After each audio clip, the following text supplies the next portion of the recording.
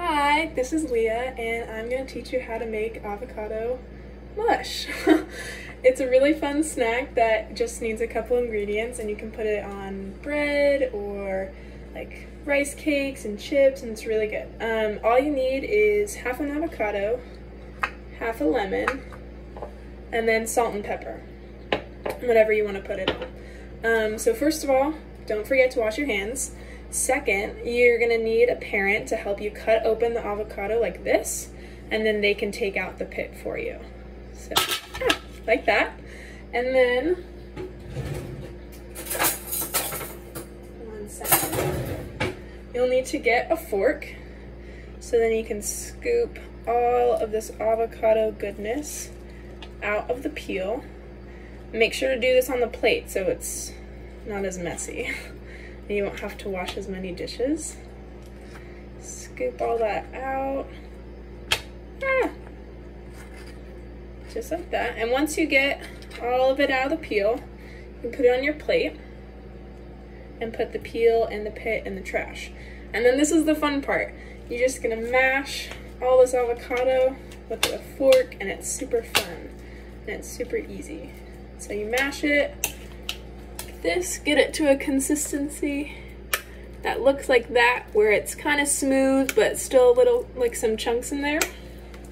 And then once you mash the avocado, you take your lemon and you just squeeze as much lemon as you want. I usually do a good amount, maybe like half or a quarter lemon.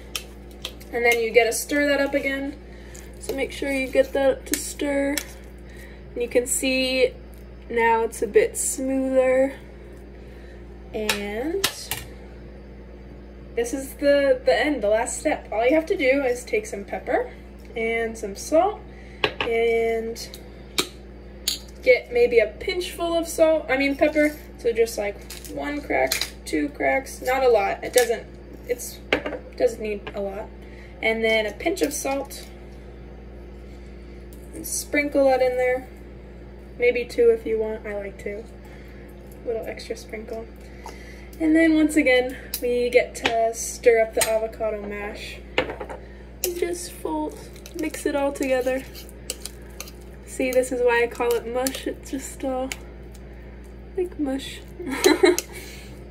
and once you've made this, with the lemon and the avocado and pepper and salt. You can also put garlic salt in it or if you have the everything everything's bagels everything but the bagel seasoning you can put that in there which I like too like on top. Um, my personal favorite way of eating my avocado mush is on a rice cracker. The lightly salted ones are a bit better. And